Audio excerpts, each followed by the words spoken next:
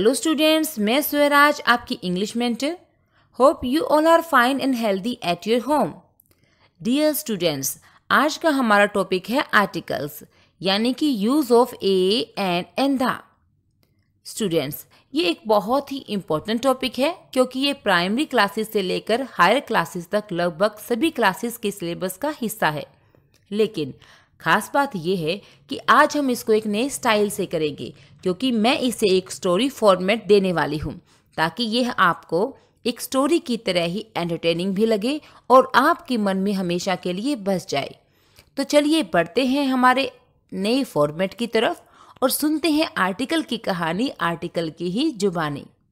I am article मैं article हूँ। These are my three lovely kids ये मेरे तीन प्यारे बच्चे हैं।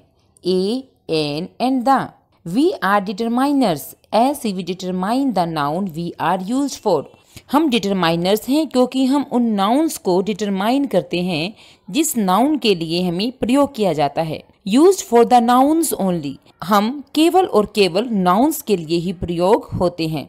For example a boy an egg the Indian Railways a girl an umbrella the earth these are examples of a an and the यहाँ पे आर्टिकल कहना चाहता है कि आर्टिकल के तीन प्यारे बच्चे हैं, यानी कि उसके तीन ही मुख्य पार्ट हैं ए एन और द और आर्टिकल्स को डिटरमाइनर्स कहा जाता है। डिटरमाइनर्स एजेक्टिव का एक पार्ट होता है। एजेक्टिव्स वो वर्ड्स होते हैं जो नाउन या प्रनाउन को क्वालिफाई करते हैं। उनकी विशेषता को बताते हैं। आर्टिकल्स एजेक्टिव का काम करते हैं, क्योंकि वो नाउन्स को डिटरमाइन करते हैं। वो वाक्य में केवल और केवल नाउन से पहले नाउन के लिए ही प्रयोग किए जाते हैं। वो या तो नाउन की सिंगुलैरिटी बताने के लिए प्रयोग होते हैं, या फिर वो नाउन की स्पेशलिटी बताने के लिए, यानी कि स्पेशल नाउन्स के साथ ही प्रयोग किए जाते हैं। और आर्टिकल अपनी कहानी को कंटिन्यू रखते हुए बताता है कि मेरी दो जुड़वा बेटियाँ हैं। एंड ए स्मार्ट सन और एक स्मार्ट बेटा है। अब बेटियों को उसने जुड़वा कहा है और इन बेटियों का नाम रखा है इनडेफिनेट आर्टिकल्स और उसने बेटे का नाम रखा है डेफिनेट आर्टिकल बेटियाँ दोनों जुड़वा हैं और वो दोनों है ए और एन और बेटा है द। और all the three are dedicated to the community noun और आर्टिकल कहता है ये तीनों के तीनों नाउन कम्युनिटी को डेडिकेटेड है, यानी समर्पित है। We have some special functions और हमारे कुछ खास फ़ंक्शंस हैं। अब आगे बढ़ने से पहले हम नज़र डालते हैं अपने अल्फ़ाबेट पर। यहाँ पर आपके सामने सभी के सभी ट्वेंटी सिक्स लेटर्स हैं। इनमें से कुछ लेटर्स रेड हैं और बाकी सभी ब्लैक हैं। और जो लेटर रेड हैं, यानी कि ए E I O and you ये पाँचों के पाँचों लेटर्स वोवल साउंड्स हैं. And rest of the letters are consonant sounds all the other except A E I O U यानी कि इन पाँचों लेटर को छोड़कर बाकी सभी के सभी लेटर्स कॉन्सोनेंट साउंड्स हैं. अब खास बात क्या है? A article a article is friend of the words with consonant sounds इसमें से ए आर्टिकल यानी कि जब हम आर्टिकल्स को यूज़ करते हैं ए एन एंड द इनमें से ए आर्टिकल उन वर्ड्स का फ्रेंड होता है, उन वर्ड्स के साथ रहता है, जो कॉन्सोनेंट साउंड से शुरू होते हैं। An article an article is friend of the words with vowel sounds यानी कि ए आर्टिकल का प्रयोग उन वर्ड्स के साथ, उन नाउन्स के साथ किया जाता है, जो वोवल साउंड से बिगिन होते हैं। And what about the the article it stand with the unique and specific things ये यूनिक और स्पेशल थिंग के साथ स्टैंड लेता है। उन्हीं के साथ ये हमेशा बना रहता है। तो आइए अब आगे बढ़ते हैं। लेकिन इनडेफिनेट आर्टिकल्स और डेफिनेट आर्टिकल के बीच के अंतर को जानने से पहले, आइए हम जानते हैं कि इनडेफिनेट आर्टिकल ए और एन दोनों का प्रयोग कहाँ होता है। अब ए और एन को हमने जुड़वा बहने कहा, लेकिन हर जुड़वा बहनों की तरह इनमें भी कुछ अंतर है। दोनों में बहुत समानता है, लेकिन फिर भी अंतर है। समानता ये है कि दोनों का फ़ंक्शन सेम है और फ़ंक्शन क्या है? कि दोनों ही सिंगल कॉमन काउंटेबल नाउन्स के लिए प्रयोग होती हैं। यानी कि दोनों का प्रयोग उन नाउन्स के पहले किया जाता है जो कॉमन होती है काउंटेबल होती है और सिंगल होती है। लेकिन फिर भी अंतर क्या है? चलिए देखते हैं। A is use before single countable common nouns that begins with consonant sound yes अंतर ये है कि उस सिंगल काउंटेबल कॉमन नाउन के आगे प्रयोग होती है जो कि कॉन्सोनेंट ध्वनि से शुरू होते हैं, जैसे पेन हम पेन को देखते हैं। यहाँ पे पेन सिंगल है कॉमन है काउंटेबल नाउन है। बॉय बॉय भी कॉमन है सिंगल है काउंटेबल है। लेकिन पेन का इनिशियल साउंड देखिए पी बॉय का इनिशियल साउंड देखिए बी यानी कि प और ब ये दोनों ही हमारे हिंदी की व्यंजन ध्वनिया हैं। तो ये दोनों ही शब्द व्यंजन ध्वनि से शुरू हो रहे हैं। इसीलिए दोनों के आगे अगर हमें आर्टिकल की चॉइस करनी है तो हम ए आर्टिकल का प्रयोग करेंगे। अब एन को देखते हैं। Use before single countable common nouns that begin with vowel sounds yes vowel sound यानी कि जो शब्द स्वर ध्वनि से शुरू होते हैं, जैसे एन एग एन अनियन जैसे मैंने आपको बताया कि पाँच वोवल लेटर्स होते हैं ए E I O you egg जो है, वो ई साउंड से शुरू हो रहा है। ये एक स्वर ध्वनि से शुरू हो रहा है। Same in case of onion onion भी अध्वनि यानी कि एक स्वर ध्वनि से शुरू हो रहा है, इसलिए हम इसके आगे एन आर्टिकल का प्रयोग करेंगे।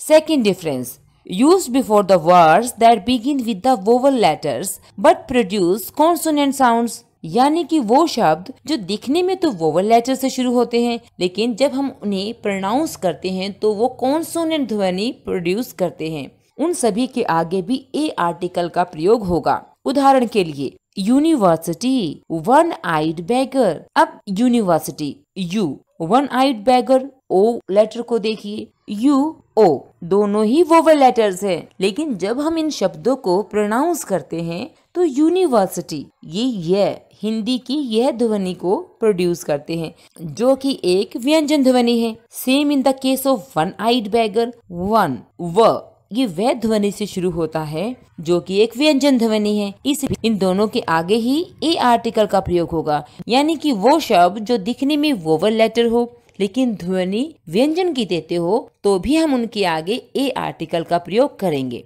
अब देखते हैं एन को. Use before the words that begin with consonant letters but produce vowel sounds ऐसे शब्द जो कॉन्सोनेंट लेटर से शुरू होते हो, यानी व्यंजन वर्णों से शुरू होते हो, लेकिन प्रोड्यूस करते हैं वोवल साउंड्स यानी कि स्वर ध्वनिया जैसे an M L M L A M एक कॉन्सोनेंट लेटर है, लेकिन हम एब्रीवेशन को ध्यान से पढ़ेंगे, क्योंकि वो सभी हो सकता है कि आपके कॉन्सोनेंट लेटर से बनती हो। हम उन्हें प्रोनाउंस करेंगे। प्रोनाउंस करने पे यदि हमें वोवल ध्वनि मिलती है, स्वर ध्वनि मिलती है तो हम उसके आगे एन आर्टिकल का प्रयोग करेंगे। Next honest an honest man इसमें एच साइलेंट होता है ओ ध्वनि से शब्द शुरू होता है तो ये एक स्वर ध्वनि है। इसके लिए भी हम इसके आगे एन आर्टिकल का प्रयोग करेंगे। अगेन एम ए बिल्कुल वैसे ही जैसे मैंने आपको पहले बताया कि एम को बोलते समय शुरुआत स्वर ध्वनि से होती है, इसलिए हम इसके आगे एन आर्टिकल का प्रयोग करेंगे। ए और एन के बीच के डाउट को अच्छे से क्लियर करने के लिए आइए हम करते हैं कुछ exercises example number one Rahul is dash good boy अब यहाँ पर हमें आर्टिकल ए और एन का प्रयोग करना है। इधर ए और an let's see good boy, हमें गुड से पहले आर्टिकल को लगाना है तो हमें गुड की इनिशियल साउंड को देखना होगा। अगर हम इसको प्रोनाउंस करते हैं तो ये आता है ग, एक व्यंजन साउंड, व्यंजन ध्वनि। इसलिए हम इसके आगे ए आर्टिकल का प्रयोग करेंगे। Next he is dash intelligent student again हमें इंटेलिजेंट से पहले आर्टिकल का प्रयोग करना है, इसलिए हम इंटेलिजेंट के इनिशियल साउंड को नोटिस करेंगे। Intelligent E. यहाँ पे आई एक वोवल लेटर है। साथ में ये ई स्वर ध्वनि को प्रोड्यूस कर रहा है, इसलिए हम इसके आगे ई के अकॉर्डिंग एन आर्टिकल का प्रयोग करेंगे। Next he is dash good at studies तो बच्चों, अब बताइए गुड के आगे किस आर्टिकल का प्रयोग होगा? ए और एन आप कहना चाहते हैं ए तो आप गलत है। गुड एग्जैक्टली ऊपर भी गुड था, नीचे भी गुड है। ऊपर ए आर्टिकल आया था और यहाँ पे किसी भी आर्टिकल का प्रयोग नहीं होगा। अब मैं यहाँ पर आपको ये बात अच्छे से क्लियर कर दूँ कि गुड एक एडजेक्टिव है। अकेले एडजेक्टिव के आगे किसी भी आर्टिकल का प्रयोग नहीं होता है। अगर एडजेक्टिव अपने साथ एक नाउन को कैरी कर रहा है, जैसे good boy good girl good concept तभी हम उसके आगे आर्टिकल का प्रयोग करेंगे। यहाँ पर है he is good at studies तो गुड के साथ कोई भी नाउन नहीं है, ये केवल एक एडजेक्टिव है तो इसके आगे किसी भी आर्टिकल का प्रयोग नहीं होगा। Next his mother is M A M A जैसा कि मैंने आपको बताया था, जितनी भी एब्रीवेशन हमें मिलेगी, उन एब्रीवेशंस को हमें बोल कर देखना है। जब हम फ़र्स्ट लेटर को प्रोनाउंस करेंगे, अगर व्यंजन ध्वनि है तो ए आर्टिकल का प्रयोग होगा, और अगर स्वर ध्वनि निकलती है तो हम एन आर्टिकल का प्रयोग करेंगे। तो यहाँ पे an article next his father is dash M L A again an M L A जितनी भी एब्रीवेशंस है, जो F H I L M N O R S X इत्यादि लेटर से बनेगी, उन सभी का हमें ध्यान रखना है कि उनसे पहले एन आर्टिकल का प्रयोग होगा। Next example saw dash one eyed beggar near my house again one eyed beggar इसमें हमें देखना है वन आइड को। हमें वन के इनिशियल साउंड यानी कि ओ को नोटिस करना है। यहाँ पे ओ एक वोवेल लेटर ज़रूर है, लेकिन जब हम वर्ड को बोलते हैं तो ये बनता है वन वे एक व्यंजन ध्वनि है, इसलिए हम इसके आगे ए आर्टिकल का प्रयोग करेंगे। ई e और एन के डाउट को और अच्छे से क्लियर करने के लिए आइए हम कुछ और एग्ज़ाम्पल भी कर लेते हैं। He has dash unique voice voice बच्चों, यहाँ पे नोटिस कीजिए कि वॉइस एक एब्स्ट्रैक्ट नाउन है। मैंने आपको कहा था कि आर्टिकल का प्रयोग कॉमन काउंटेबल सिंगल नाउन के आगे ही होता है। लेकिन यहाँ पर वॉइस को एक कॉमन नाउन की तरह हम ट्रीट कर सकते हैं, क्योंकि यहाँ पर बात हो रही है टाइप ऑफ़ वॉइस की। तो हम यहाँ पे इसको कॉमन नाउन मानेंगे। नेक्स्ट हमें अब आर्टिकल यूनिक से आगे लगाना है। यूनिक के लिए हम यूनिक के इनिशियल साउंड को देखेंगे। यू यू वैसे तो एक वोवल लेटर है। ए ई आई ओ यू में से एक, लेकिन यहाँ पे यू यह व्यंजन ध्वनि को प्रोड्यूस कर रहा है, इसलिए इसके आगे ए आर्टिकल लगेगा। नेक्स्ट ही इज़ यूनिक यहाँ पे बताइए बच्चों, क्या आर्टिकल लगेगा? अगर आप कह रहे हैं ए तो वो गलत है। Again he is unique unique अकेला एडजेक्टिव है। इसके साथ कोई भी नाउन नहीं है। ये किसी भी नाउन को कैरी नहीं कर रहा है। किसी भी अकेले एडजेक्टिव के आगे कोई भी आर्टिकल नहीं लगता है। सिर्फ़ उसी केस में आर्टिकल लगेगा जब एडजेक्टिव अपने साथ में एक नाउन को कैरी करे। Next Ravi is dash very honest person again यहाँ पर हमें वेरी से पहले आर्टिकल का प्रयोग करना है, लेकिन ये आर्टिकल हम पर्सन के लिए प्रयुक्त कर रहे हैं। वह वह एक व्यंजन ध्वनि है तो इसके आगे ए आर्टिकल लगेगा। रवि इज़ वेरी ओनेस्ट यहाँ पे देखिए, क्या हम आर्टिकल लगाएँ? बिल्कुल सही, कोई आर्टिकल नहीं लगेगा, क्योंकि वेरी ओनेस्ट रवि बहुत ईमानदार है, लेकिन ईमानदार के साथ किसी भी नाउन का प्रयोग नहीं हो रहा है। ओनेस्ट अपने साथ किसी भी नाउन को कैरी नहीं कर रहा है, इसलिए इसके आगे किसी भी आर्टिकल का प्रयोग नहीं होगा। Next my sister gave me dash umbrella again umbrella के इनिशियल साउंड को देखिए, ये एक वोवल साउंड है। तो हम इसके आगे एन आर्टिकल का प्रयोग करेंगे। And last example dash apple dash day keeps the doctor away apple an apple a day apple एक वोवल साउंड है डी एक कॉन्सोनेंट साउंड है, इसलिए डी के आगे ए और एप्पल से पहले एन आर्टिकल का प्रयोग होगा। तो बच्चों, हमें दो बातें ध्यान रखनी है। एक तो कॉन्सोनेंट साउंड से पहले हमें ए आर्टिकल का प्रयोग करना है और वोवल साउंड से पहले एन आर्टिकल का। दूसरी बात हमें ये देखनी है कि हमें आर्टिकल सिर्फ़ और सिर्फ़ नाउन के लिए लगाना है। अगर नाउन से पहले एडजेक्टिव है तो हम एडजेक्टिव के इनिशियल साउंड को देखते हुए ए और एन को डिसाइड कर सकते हैं। लेकिन एडजेक्टिव के बाद में नाउन का होना कंपलसरी है। अकेले एडजेक्टिव के आगे किसी भी आर्टिकल का प्रयोग नहीं होगा। अगर होता है तो वो सिर्फ़ और सिर्फ़ स्पेशल केसेस में होता है।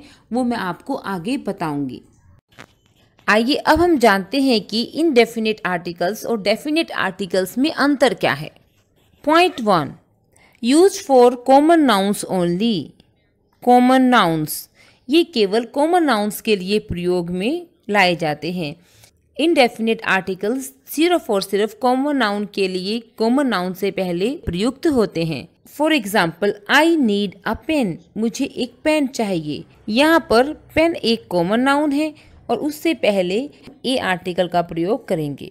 His village is situated on the bank of a river again river is a common noun the article यानी कि definite article use before common and proper noun both such as Kalidas is the Shakespeare of India तो बच्चों, थोड़ा ध्यान दें कि कालिदास को Shakespeare कहा गया है।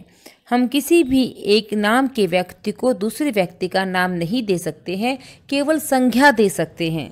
शेक्सपियर एक प्रॉपर नाउन है और शेक्सपियर की संख्या कालिदास को दी गई है, इसीलिए शेक्सपियर के आगे द आर्टिकल लगा है। The cow is a useful animal. यहाँ पे काउ एक कॉमन नाउन है, लेकिन इससे पहले द आर्टिकल का प्रयोग हुआ है, क्योंकि काउ कॉमन नाउन को यहाँ पर अपनी पूरी जाति का रिप्रेजेंटेटिव माना गया है।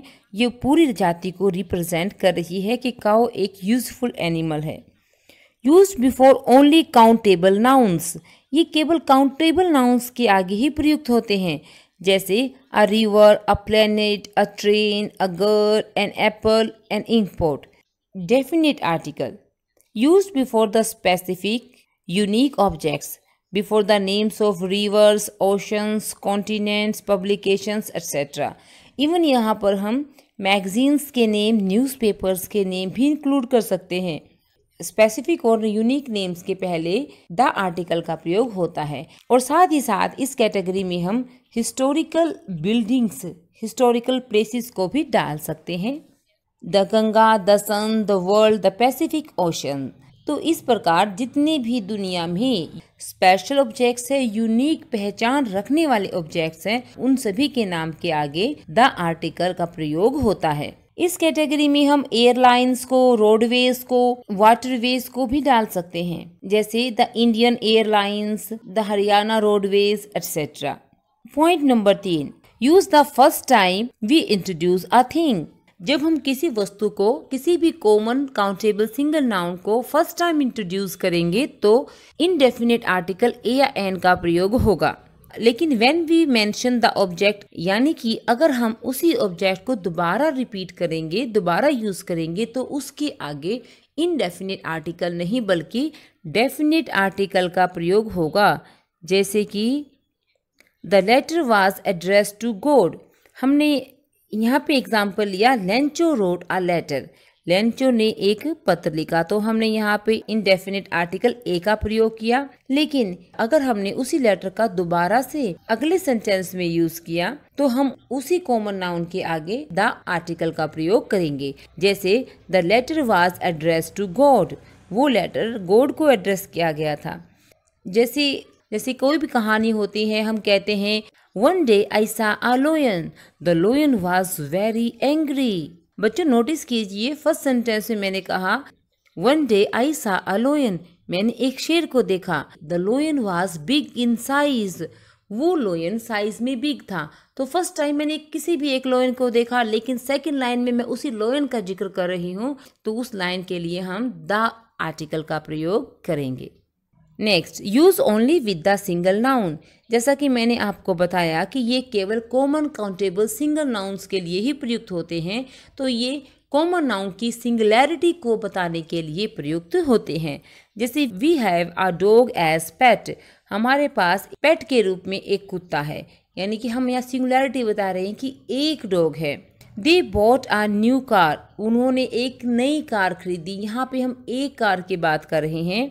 She ate an egg in breakfast उसने ब्रेकफास्ट में एक एग खाया। Definite article the. Use before both singular and plural nouns जबकि डेफिनेट आर्टिकल का प्रयोग सिंगल और प्लूरल नाउन दोनों के लिए ही हो सकता है। The dog is a faithful animal dog एक फेथफुल एनिमल होता है।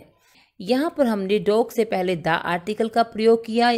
यहाँ पर डॉग पूरी रेस को रिप्रेजेंट कर रहा है कि डॉग इस प्रकार के एनिमल होते हैं। Next, the dogs were really very dangerous. वो डॉग्स वास्तव में बहुत ही खतरनाक थे। यहाँ पे हमने डॉग्स के साथ दा का प्रयोग किया है। हमने इन डॉग्स का पहले ज़िक्र किया है। अब दोबारा से हम उनको मेंशन करना चाह रहे हैं किसी भी सेंटेंस में।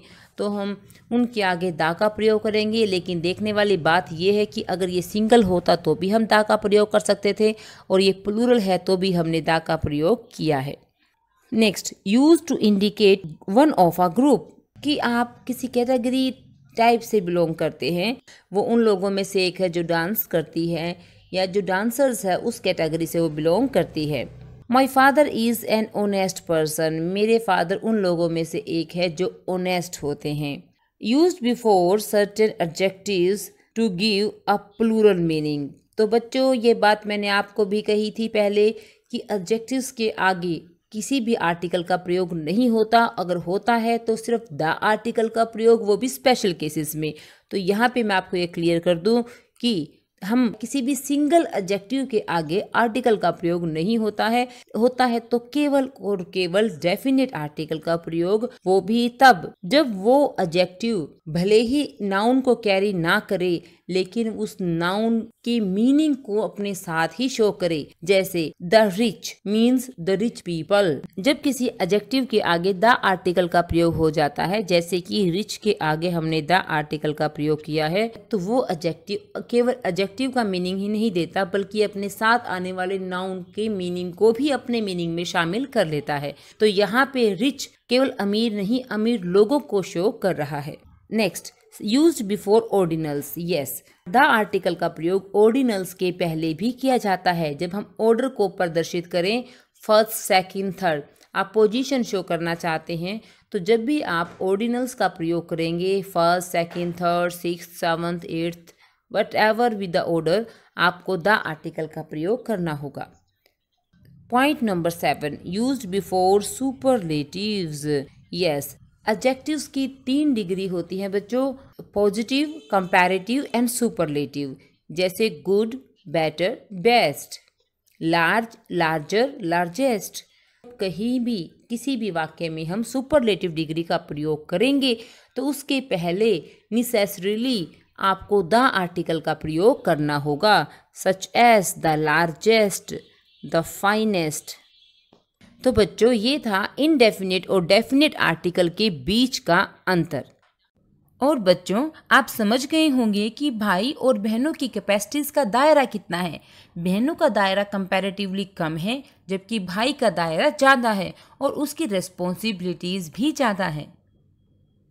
होप कि आपको समझ में आ गया होगा। आइए, अब हम जानते हैं किन किन केसेस में नो आर्टिकल का प्रयोग होता है, यानी कि किसी भी आर्टिकल का प्रयोग नहीं होता है। First of all to talk about thing in general जब हम किसी किसी वस्तु का जर्नल तरीके से प्रयोग करें, जैसे milk is good for you दूध आपके लिए अच्छा है यहाँ हम मिल्क को जनरली प्रयोग कर रहे हैं। सेकेंड बात मिल्क एक मटेरियल नाउन है। मटेरियल होता है पदार्थ। सो पदार्थ के तीन रूप होते हैं सोलिड लिक्विड गैस और तीनों ही रूप में मटेरियल नाउन के आगे किसी भी आर्टिकल का प्रयोग नहीं होगा। होगा तो सिर्फ़ और सिर्फ़ स्पेशल केसेस में दा का प्रयोग। Next before the name of a language subject days and months किसी भी भाषा के नाम के आगे, विषय के नाम के आगे, दिन और महीनों के नाम के आगे किसी भी आर्टिकल का प्रयोग नहीं होगा। Before the names of countries such as Japan, France, Italy, etc. except the UK and the USA. यहाँ किसी भी देश के नाम के आगे किसी भी आर्टिकल का प्रयोग नहीं होता है लेकिन यूके यूएसए यूएई जो यूनियन ऑफ़ स्टेट से बने हैं उन्हीं के नाम के आगे द आर्टिकल का प्रयोग होता है जैसे द यूनाइटेड किंगडम और the United States of America next to talk about sports and games यानी कि गेम्स और स्पोर्ट्स के आगे भी किसी भी आर्टिकल का प्रयोग नहीं होगा Example, let's go and play basketball. Before the names of meals, जैसे breakfast, dinner, lunch. But when we talk about special dinners, special meals, जैसे we enjoyed the dinner last night. हमने पिछली रात वाले डिनर को एंजॉय किया जब हम ये मेंशन करना चाहते हैं कि डिनर कौन सा है लंच कौन सा है ब्रेकफास्ट कौन सा है किसने दिया कहाँ खाया इस तरीके से स्पेशल केसेस है, तब हम उसके आगे द आर्टिकल का प्रयोग करेंगे। बिफोर नाउन प्लस नंबर अगर नाउन के सात नंबर है तो भी उसके आगे किसी भी आर्टिकल का प्रयोग नहीं होगा।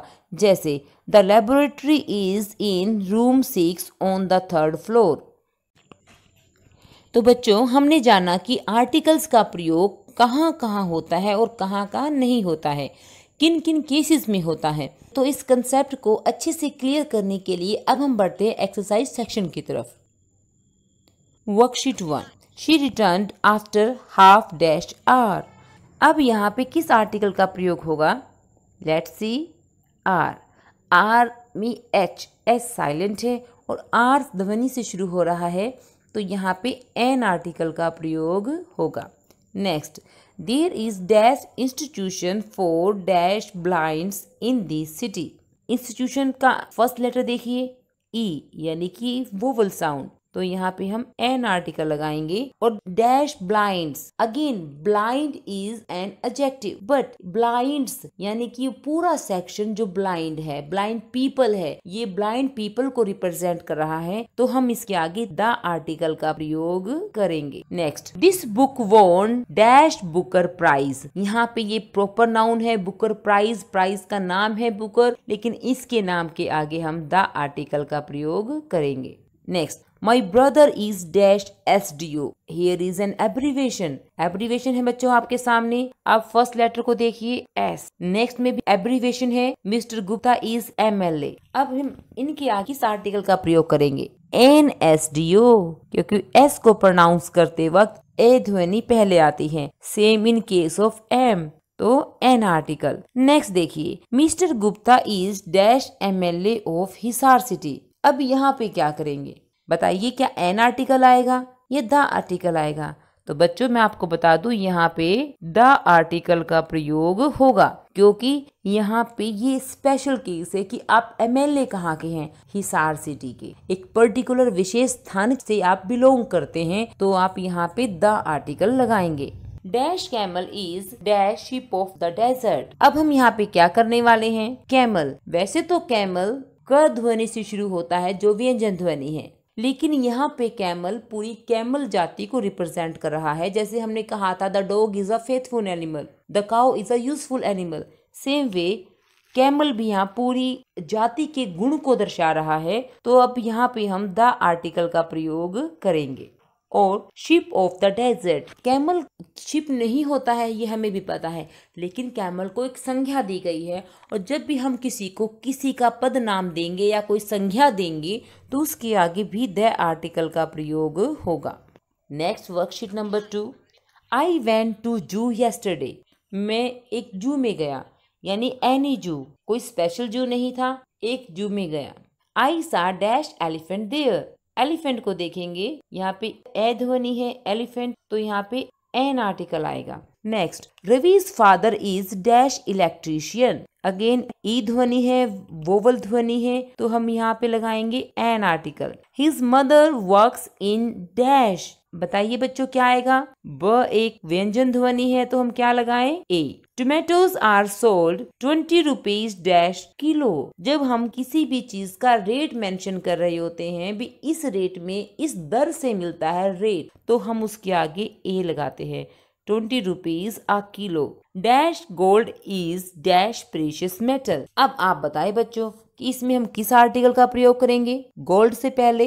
No article because gold is a material material noun next precious metal यहाँ हम कह रहे हैं कि वो एक प्रीशियस मेटल है। मेटल नाउन है प्रीशियस एडजेक्टिव है। प ध्वनि से पहले हम आर्टिकल का प्रयोग करेंगे तो ये ए आएगा। Next gold found in Karnataka mines is of high quality अब हम यहाँ पे क्या करें? गोल्ड तो यहाँ पे भी मटेरियल नाउन है but this is a special case कि कौन सा gold found in Karnataka mines तो अब यहाँ पे हम द आर्टिकल का प्रयोग करेंगे। मैन इज़ मॉर्टल ये जनरलाइज हुआ है केस तो यहाँ पे हम कोई आर्टिकल का प्रयोग नहीं करेंगे, किसी भी आर्टिकल का प्रयोग नहीं करेंगे। नेक्स्ट ये है worksheet number three Kalidas is dash Shakespeare of India अभी हमने पीछे ये एग्ज़ाम्पल कर लिया था तो हम क्या करेंगे? Definite article the my father is dash director of the social welfare committee यदि हम एक इंसान को दूसरे इंसान का नाम देते हैं या एक इंसान को कोई भी हम पद संज्ञा देते हैं जैसे कि director joint secretary principal headmaster कुछ भी। अगर हम किसी इंसान के पद के बारे में बात करते हैं तो भी हमें द आर्टिकल लगाना होता है, यानी कि definite Reena usually sits on dash first bench again first क्या है? ओर्डिनल ओर्डिनल के आगे हम क्या लगाएँगे? The article she always secures dash last position in her class again last क्या है? ओर्डिनल तो हम क्या करेंगे? द आर्टिकल का प्रयोग। Ravi is declared as dash best student of year best best क्या है? सुपरलेटिव डिग्री अगेन यहाँ पे द आर्टिकल आएगा। Dash higher you go dash cooler it is अब यहाँ पे हायर क्या है और कूलर क्या है? ये सुपरलेटिव डिग्री तो नहीं है, ये तो कंपेरेटिव डिग्री है। तो हमें क्या करना है?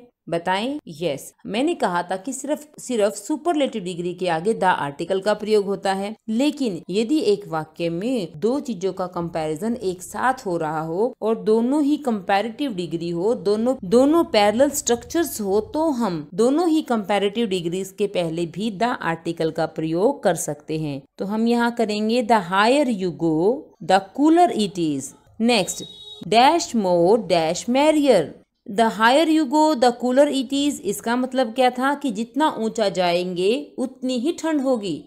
डैश मोर डैश मैरियर जितना ज़्यादा होगा, उतनी ही खुशी होगी। अगेन यहाँ पे कंपैरेटिव स्ट्रक्चर है। द मोर द मैरियर तो ये सभी के सभी आपके लिए डेफिनेट आर्टिकल के स्पेशल केसेस थे। Worksheet number four I saw dash one eyed man in the park ये एग्ज़ाम्पल भी हम कर चुके हैं वन वे ध्वनि की वजह से हम यहाँ पे ए आर्टिकल का प्रयोग करेंगे। हैव यू टेकन लंच यहाँ पर सिंपल मील की बात हो रही है कि क्या आपने लंच ले लिया है? तो यहाँ पे जैसे मैंने आपको बताया था कि किसी भी आर्टिकल का प्रयोग नहीं होगा मील्स के आगे। Dash lunch we had yesterday was awesome अब यहाँ पे भी लंच है तो हमें क्या आर्टिकल लगाना है? नो no आर्टिकल नहीं, यहाँ पे हम लगाएँगे डेफिनेट आर्टिकल द वो यूँ कि यहाँ पर सिंपल मील की बात नहीं हो रही है। हम यहाँ, हम पहले ले चुके किसी एक लंच की बात कर रहे हैं तो वो खास हो जाता है, इसलिए यहाँ पे हम दा लगा के इसको पूरा करेंगे। Suzy is dash European E E एक वोवल लेटर है बट इट गिव्स यह ध्वनि मीन्स ये एक व्यंजन ध्वनि दे रहा है तो हम यहाँ पे ए लगाएँगे। नेशनैलिटी से पहले हम इनडेफिनेट आर्टिकल का प्रयोग कर सकते हैं। She gave me dash little money she had उसने मुझे वो थोड़ा सा पैसा दे दिया जो उसके पास था। तो the little money she had वो जो थोड़ा सा उसके पास था, वो भी मुझे दे दिया। तो हम स्पेशल केसेस में हमेशा द आर्टिकल का प्रयोग करना होता है। ऐसे रिलेटिव क्लोजेस के अंदर हमें हमेशा द आर्टिकल का प्रयोग करना होता है। I like dash milk very much यहाँ पे अगेन मटेरियल नाउन है तो कोई आर्टिकल नहीं आएगा। Dash milk in jug is not fit for drinking वो मिल्क जो जग में है, वो पीने के लिए ठीक नहीं है। अगेन यहाँ पर द आर्टिकल आएगा, क्योंकि हमें बताना है कि मिल्क कौन सा है। Dash Taj Mahal is dash great historical building. Taj Mahal एक हिस्टोरिकल प्लेस है। हिस्टोरिकल प्लेस के आगे द आर्टिकल का, डेफिनेट आर्टिकल का प्रयोग होता है। इस डैश ग्रेट हिस्टोरिकल बिल्डिंग तो यहाँ पे हमें इस हिस्टोरिकल बिल्डिंग से पहले भी आर्टिकल का प्रयोग करना है, क्योंकि बिल्डिंग एक कॉमन नाउन है, काउंटेबल नाउन है। इससे पहले हम एक इनडेफिनेट आर्टिकल का प्रयोग करेंगे, लेकिन ग्रेट की जी के साउंड को देखते हुए। यहाँ पे ग्रेट का ग ध्वनि है, ग ध्वनि व्यंजन ध्वनि है तो यहाँ पे ए आर्टिकल का प्रयोग होगा। तो बच्चों, ये थी आपकी एक्सरसाइजेज इसमें हमने ऑलमोस्ट सभी टाइप के इम्पोर्टेंट एग्जाम्पल्स कवर कर लिए हैं। होप कि आपको सब कुछ अच्छे से क्लियर हो गया होगा। All the best